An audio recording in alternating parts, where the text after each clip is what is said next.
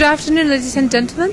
Here's Japan Sewage Works Association. We are association of introducing Japanese technology.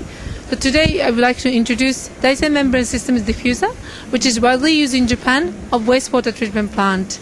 So we have basically four features. One is we have really low energy consumption. As you can see, we are bubble size is very small, which is one millimeter uh, air bubble size, whereas the conventional types of the diffuser, such as plastic, ceramic, and also polyurethane membrane, has a four millimeter.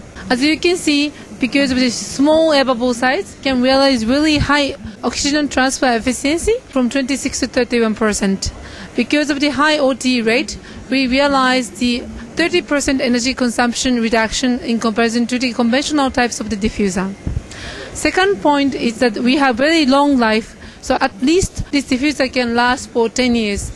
Um, because Japanese national law requires diffuser must last at least 10 years. And the third point that this diffuser can have no problem with knocking and backflow. This is made of the special EPDM, special rubber.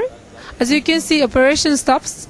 Immediately this EPDM has closed.